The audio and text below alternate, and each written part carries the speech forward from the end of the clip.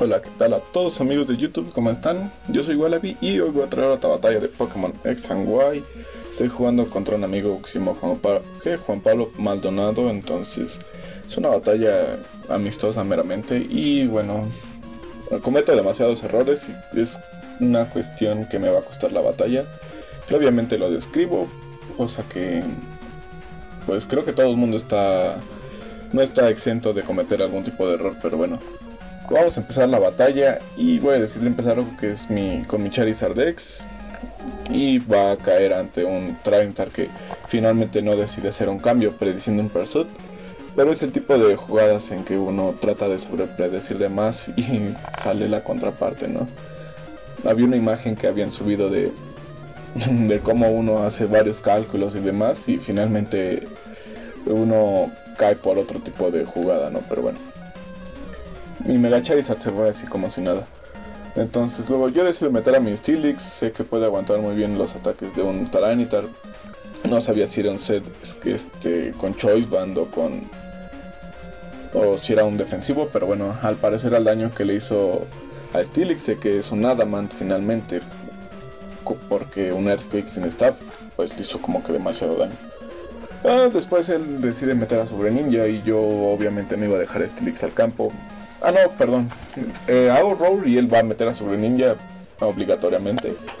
Y pues hago un cambio rápido para meter a mi Lantern, que es un eh, soporte de con Thunder Wave y Confuse Ray.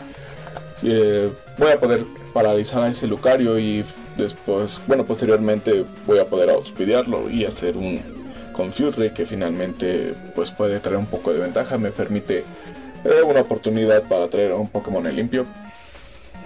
Entonces, Creo que es prudente dejar a Lantern ir por un surf, pero él decide meter a su Chesno, que es un defensivo también demasiado brutal en esta nueva generación.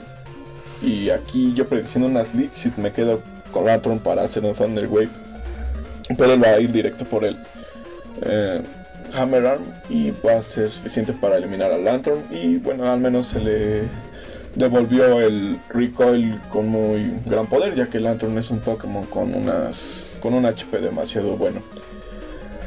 Aquí este decido meter a mi Cloyster después de video por el U-Turn con Scizor y es por eso que decido ir por un Shell Smash para empezar a hacer un boost y hacer un sweep con mi Cloyster y él una vez va más por su Earthquake que me hace un daño considerable pero lo que va a hacer sus el daño por el Sandstream también me causa demasiado daño. Meta su Lucario obviamente es un Pokémon resistente a los ataques hielo y, obviamente me va a poder hacer un poco más de daño con... Ah, si va por un Extreme Speed o por un Ballet Punch. Y finalmente es también un factor que hizo que mi Cloyster cayera. Ya que al siguiente turno él va a traer a lo que es su Scizor. Y de un Ballet Punch va a ser también suficiente para que mi Cloyster caiga.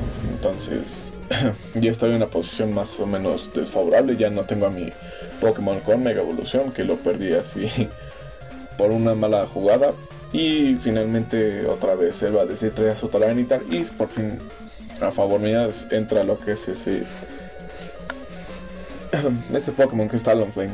Aquí él va a ir por un Braver, quizás prediciendo un cambio. Yo decido quedarme con mi Steelix para ir por otro Rogue y en este momento es donde él ya no se ve como con la posibilidad de regresar a su Talonflame al campo, ya que no tiene un Rapid Spinner que pueda quitar esas Steel Rocks.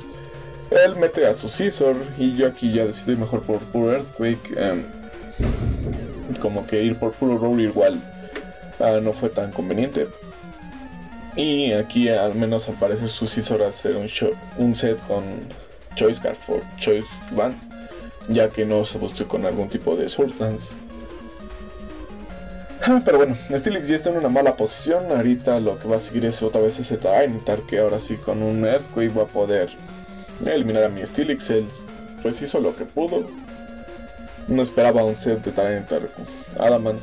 Y aquí viene la jugada que ay, me voy a dar de topes en la pared realmente. Decido traer a mi Gengar, que obviamente carga Focus Blast, y decido empezar a hacer un poco de, de stall esperando que acabe la tormenta de arena, ya que esta puede afectar en quizás en que si ese Tyranitar sobrevive o no al Focus Blast. Que ahora que lo pienso fue una parte ingenua mía. Mm, sé que no iba a aguantar un Focus Blast multiplicado por 4 y, aquí el error que yo cometí es un error de dedo. En lugar de picar el Focus Blast, apreté Sludge Bomb y obviamente es un ataque que no es efectivo contra un Pokémon como Tarhanitar, entonces voy a morir solamente de un Crunch. Y Scizor no va a ser capaz de enfrentar el solo esta pelea, todavía queda vivo Tarhanitar. Talonflame queda vivo, pero es como si estuviera ya muerto. Y creo que lo que es mi Scizor iba a aguantar muy bien un, un Surf o un Hydro Pump de un Greninja. Y de un U-Turn hubiera sido suficiente para poder eliminarlo, pero bueno, los errores pasan y es así como pierdo la pelea del día de hoy. Por otro lado, pues no me queda más que despedir de ustedes. Si escucharon algo raro, raro en el audio de este video, es que hoy están aventando mucha pirotecnia. No puedo hacer nada en contra de eso simplemente pedir una disculpa si se oye raro.